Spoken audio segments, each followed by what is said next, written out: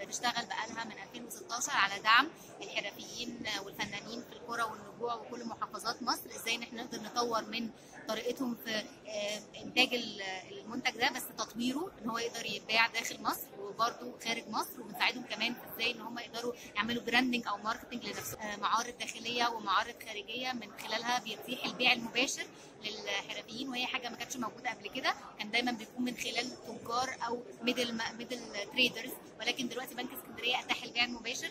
ومن خلال ده إحنا تقريبا بنتعاون مع أكتر من 3000 حرفي آه، 90% منهم من السيدات الريفيات.